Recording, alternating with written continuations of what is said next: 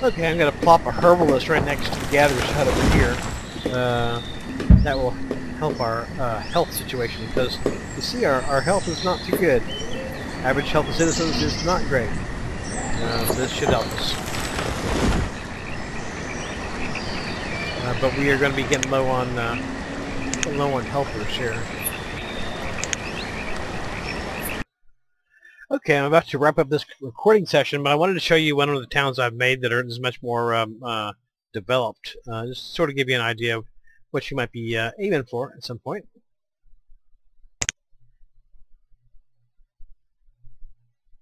Yeah, I just saved.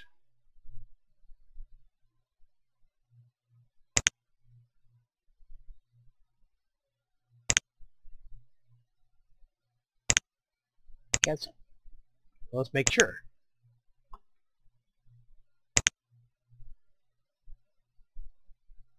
Okay.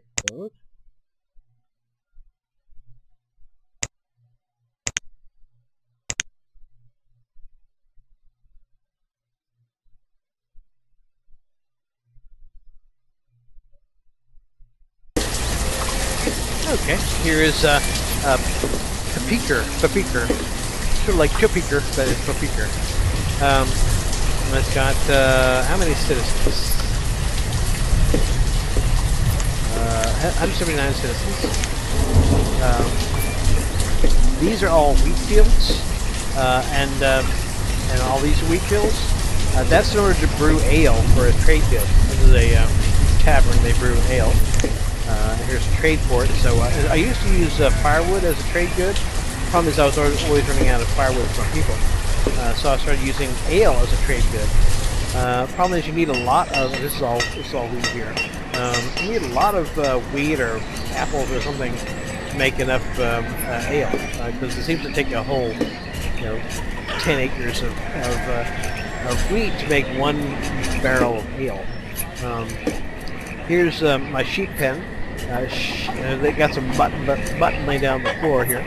Uh, sheep are important not so much for the mutton, although that's, that's good, uh, but for the wool, uh, because that allows you to have um, uh, the, the, best clothes in, the game, the warm clothes, which allows your people to work out in the cold better. also got some chickens, chickens here. Um, they're good because they give eggs and, of course, chicken meat.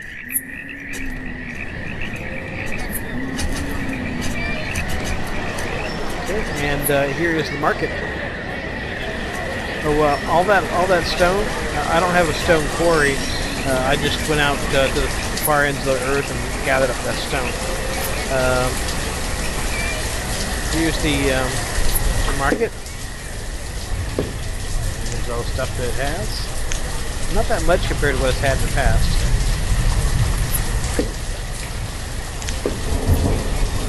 Uh, also, I'm making steel tools, so for steel you need coal, uh, so I have a coal mine for that.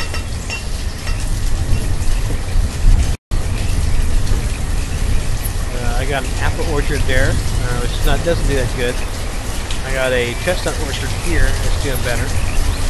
Uh, and apple orchards just kept coming in there, and some more vegetable fields.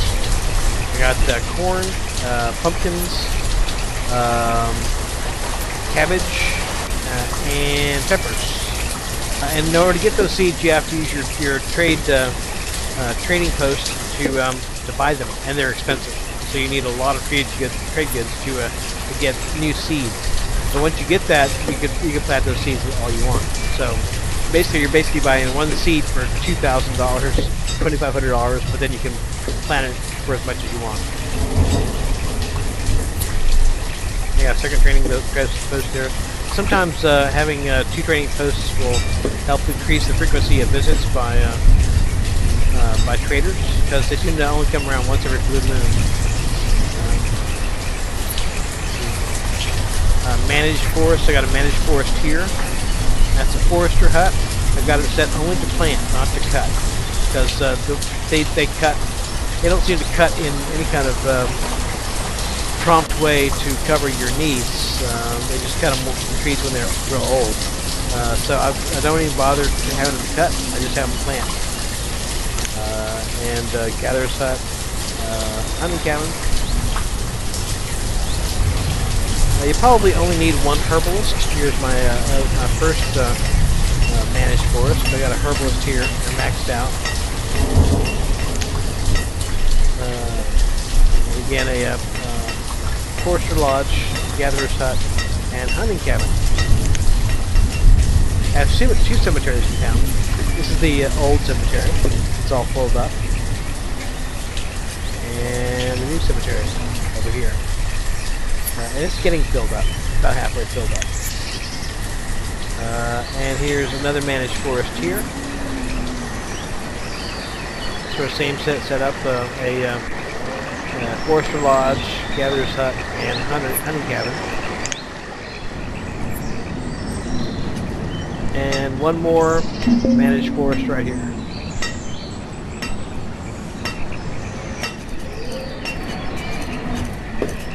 Uh, this is a town hall that gives you, mainly gives you access to um, information, uh, graphs on what your population is, food supply, uh, clothing, which is important.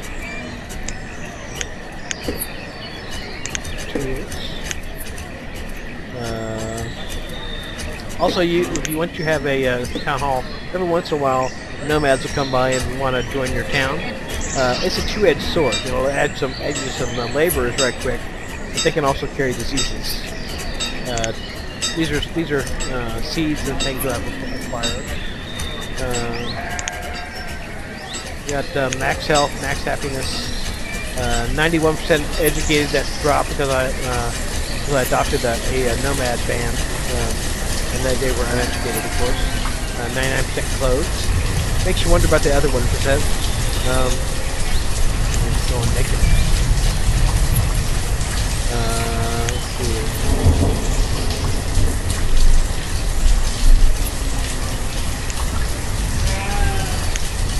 184 citizens. Once you get to this point, it's not that much of a, uh, a scary thing as to whether you're going to survive or not. Uh, although sometimes you can have close calls too. Like uh, I was up to like 12,000 food.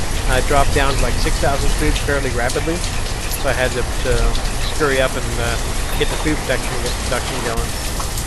Uh, so you can still run into problems. Uh, that was the old coal mine. The problem is it was so far away that nobody would pick up the coal. Uh, so I, I put it closer in.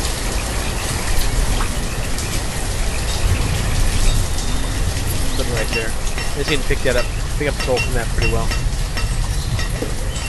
And the benefit of steel tools is they don't uh, wear out as, as often, which means your people don't spend as much time replacing tools. And they can work more. Work. Work, you bastards.